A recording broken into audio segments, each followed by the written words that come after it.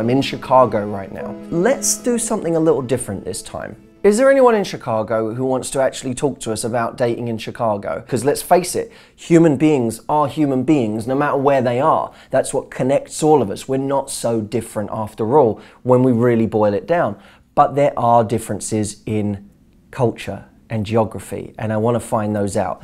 So, for this little episode of whatever this is, we found three women who are going to talk to us about Chicago. Huh.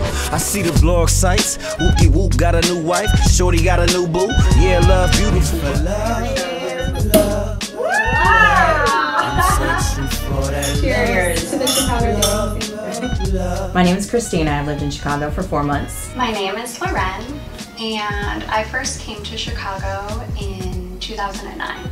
My name is Marina Lombropoulos, and I've lived in Chicago. I'm a local native, so my whole life. Men here are really willing to go out and have a good time with a woman, and they're very thirsty for a woman's attention. The typical Chicago guy, I would say, is Easygoing, chill, doesn't necessarily know what he wants. he likes to hang out with his guys. He goes out with his guys on Friday, Saturday. Let's just go with the flow and see where this goes. That's the Chicago guy that I that I commonly run into. Kevin Vaughn. I'd swipe left. of somebody else. No, you wouldn't actually. She's a charmer. She's into the Greeks. Yeah, He was he's a very charmer. Where's the chest hair with the gold chain? Oh. Hello there. Hi, So good to see you, Matthew. What's your name? Marina. Christina, nice to meet Christina, you. how are you? Lovely, thanks. Good to see you. You look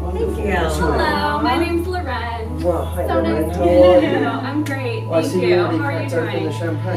We have we have a is- can I join for you? you. Please. so it's so exciting to see you guys. You're all living here, of course. Mm-hmm. Mm-hmm. Yeah. Okay, well, I want to hear it all from you guys. I have lots to ask. So you guys come grab a seat and let's talk. Let's I want to. I want to really debrief with you guys. You have to teach me. Ladies, make some noise. We're in Chicago right now. This is the first time I've ever been able to do a live video from the stage. So make some noise for people around the world right now. I've been here on tour a few times now, and it's sort of. I feel like it's such a beautiful city and has so much character. Mm. What are some of the great things about dating here? What, what would you say?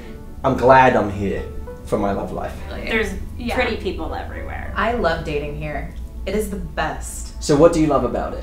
I love the fact that there's, um, ton, like she was saying, tons of different people. It's multicultural. There's always something to do here. You can always meet new people around the corner. I love Chicago too, but I can't find love here. But what is good about Chicago is that there are so many people and there are so many different types of people. Yeah. So, but then there's also the other side of that is because there's so many people, you're like, well, I should be able to find somebody. You're out. You want to speak to people. Take the pressure off and just do this. Whenever someone is close to you, you go, hey, how's it going? You walk to the bar, someone's near you, hey, how's it going? Bartender, hey, how's it going? Hey, how's it going? And the person's like, yeah, good. They may say nothing, that's fine. You haven't asked anything really. But if they're like, yeah, good, how are you? You're like, yeah, I'm great, thanks. Grab your drink. You say, anyway, have a great night. What was your name? What was your name? Kimberly, Kimberly, Kimberly, cheers. Have a great night. You walk off. But now I see Kimberly an hour later, and she's walking through, and I'm like, hey, Kimberly, how's your night? She's like, oh. Kimberly only came out with two friends tonight. I'm now her first best friend in the whole place.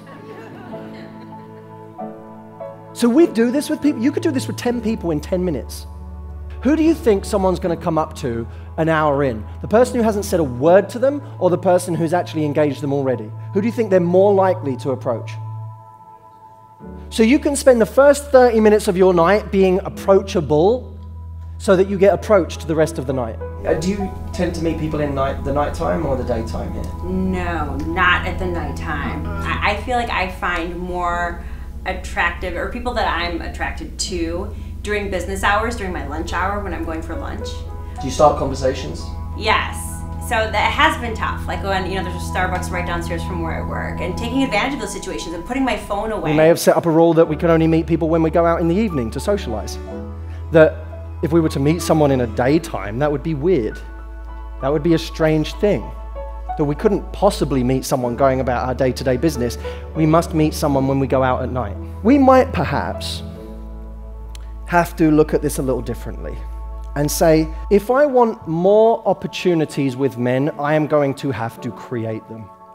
I cannot wait for them to happen to me. If I sit there and wait and wait and wait and wait, nothing happens. Now, I think a lot of us have convinced ourselves that nothing's happening for us because there's something wrong with us. Instead of actually understanding that maybe nothing is happening for us because we're not making anything happen. I had a date from Uber where I basically this is so No embarrassing. I basically um, got my receipt in the mail. He was so cute, and I acted as though I had lost something in his Uber. So I called it, called the Uber line, and I was like, "Hi, it's Christina. I had a really great time talking to you. I was just wondering if you want to go out." He's like, oh, "I'm so flattered. Yes." so he came and picked me up, and I was like, "Do I sit in the back seat or the front?" That's fantastic. Yeah, That's fantastic. Yeah, it was good. What a great story. If we all had that level of certainty, we wouldn't have very many problems in our love lives. Because it's that kind of certainty that makes us attractive. I think people always think I'm being slightly sarcastic when I talk about how much I really love America, but I love being here. And I love the, the different subcultures within it. So uh, you teach me as much as you can about Chicago, and I'll try and make sure that Saturday is a day you feel was worth it for you guys. And um, I, I want to I want to hear from you guys afterwards. Yeah, you know I before. will. follow me on Twitter. It's Cheers. a deal. Good to see you guys. Thank you. There are so many different subcultures within America. There are so many different Americas. Uh, it's incredible. Um, but we must never take for granted where we are. Even within America, you're in Chicago for most of you. You guys live in an incredible world of opportunity here. And you should never ever take it for granted because trust me, whatever excuses you think you have for your love life in Chicago, just imagine the excuses you'd have to be using elsewhere.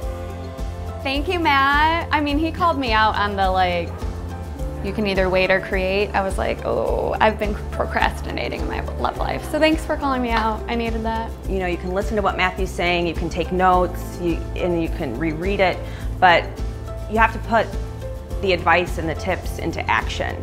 And that's where core confidence comes in. And that's definitely something that I want to build on and continue to build on. And it really struck a chord with me today. I think that he really inspired me to do that. I'm ready to do it tonight. You guys going out tonight? We're going out tonight. Yep, we're doing it. I really love Chicago. I think anyone who lives here is lucky to be finding love here. Many times we complain about people having too much choice in a city like this, and I've heard that complaint this weekend, but the reality is there are so many options. You walk down the street and there's new people every day to meet and try your hand with in love. And I think that's an amazing thing. I think we must never take for granted just how much potential a city like this offers. I see the blog sites. Whoopie whoop got a new wife. Shorty got a new boo. Yeah, love beautiful. For love, love, love. I'm happy being single. But I wish that I could find you.